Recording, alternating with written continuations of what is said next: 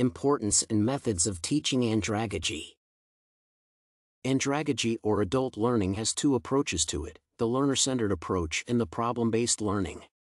Nurses and social workers become competent in their professions through these adult learning principles. In the learner centered approach, the teacher does not take the main role. It is the learner who plays the significant role. The approach is practitioner oriented, active interactive, and cooperative organization, analyses, and synthesis of information are performed by the learner. The knowledge already known to the learner is built upon through the facilitation of the teacher. The learner comprehends better and learns more through his efforts. It is more of a cooperative and creative learning. Sharing information with a group of learners produces better outcomes. Interactive factors play an important role. Learners are better equipped with problem-oriented instruction memorization is not the method. Ideas and instruction may be challenged, the instructor will not be offended. Instructors use open-ended questions to help the learners to come out with information. The problem-based learning is slightly different in that learning revolves around a practice-related problem. This approach stimulates the learner to reorganize whatever information he has when he learns through a different method of approaching the same problem. It is case-centered, context-relevant, self-directed, and is a group tutorial. Problem-based learning produces more satisfaction to people as they remember things better for a long time.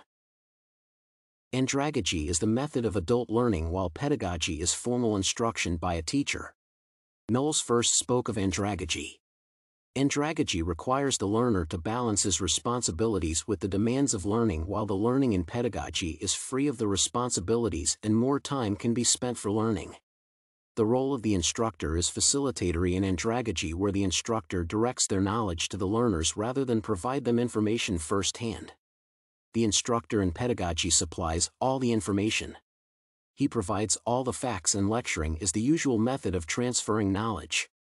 The learner in andragogy has plenty of basic information and life experiences on which he builds up with added information.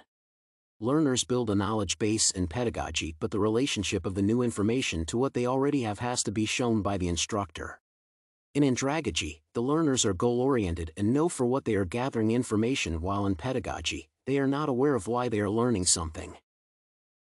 The instructor has to tell them. In andragogy, the self-initiated learning lasts a long time. In pedagogy, the instruction is compulsory and lasts only for a short term the personality involved in the pedagogy would be a dependent one. This learner learns because the course has included the matter. The learner in andragogy develops the knowledge due to a problem he has faced and wants to learn to solve it. Orientation to learning is subject-centered in pedagogy while it is problem-centered in andragogy. Motivation for learning in andragogy is by internal incentives and curiosity.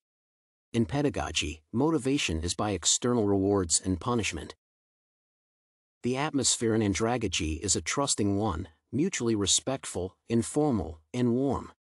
It is the exact opposite in pedagogy which is a formal occasion with tension, little trust, and authority-oriented, competitive, and judgmental.